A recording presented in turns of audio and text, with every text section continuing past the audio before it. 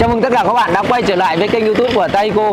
À, Khi mà rửa xe ấy thì trên xe có những cái vị trí mà không cần đến nguồn nước với cái áp lực mạnh. À, Ví dụ như là cánh cửa xe hay là khoang máy. Bởi vì ví dụ như khi mà rửa cánh cửa xe ấy à, Nếu như mà sử dụng cái nguồn nước với áp lực mạnh thì nó có thể bắn nước vào phía bên trong nội thất của xe.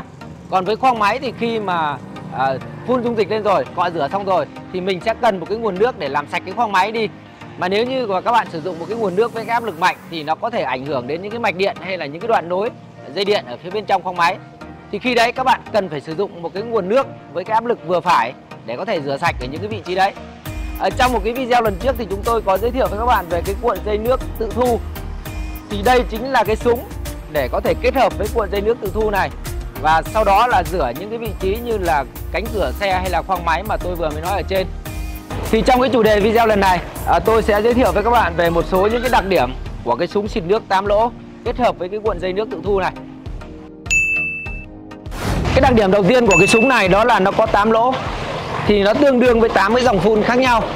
À, chính vì cái đặc điểm này cho nên là nó giúp cho người thợ có thể dễ dàng điều chỉnh ở cái dòng phun để mà rửa những cái chi tiết khác nhau ở bên trong cái cửa hoặc là phía bên trong khoang máy. Cái đặc điểm thứ hai đó là phần thân súng này các bạn này nó được làm bằng thép hợp kim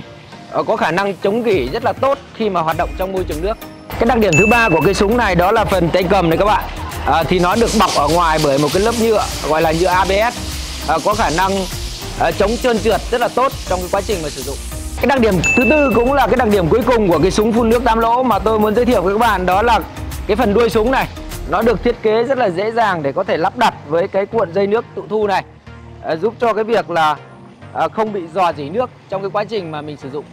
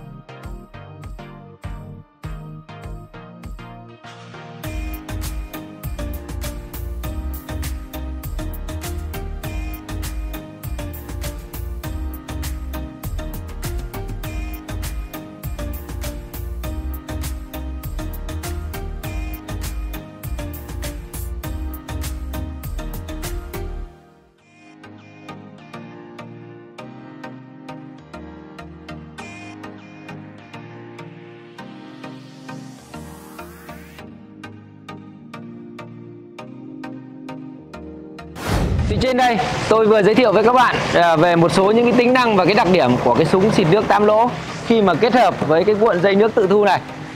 à, để có thể rửa được ở những cái vị trí như là cánh cửa xe hay là bên trong khoang máy à, khi mà người thợ không cần cái nguồn nước với cái áp lực lớn. À, các bạn khi xem video à, nếu như còn những vấn đề gì thắc mắc về cái súng này à, có thể gọi điện hoặc nhắn Zalo cho số hotline ở phía trên màn hình. À, ngoài ra các bạn cũng có thể comment câu hỏi của mình cùng với số điện thoại xuống dưới video mà các bạn đang theo dõi để nhân viên của Taiko sẽ gọi điện lại tư vấn miễn phí cho các bạn.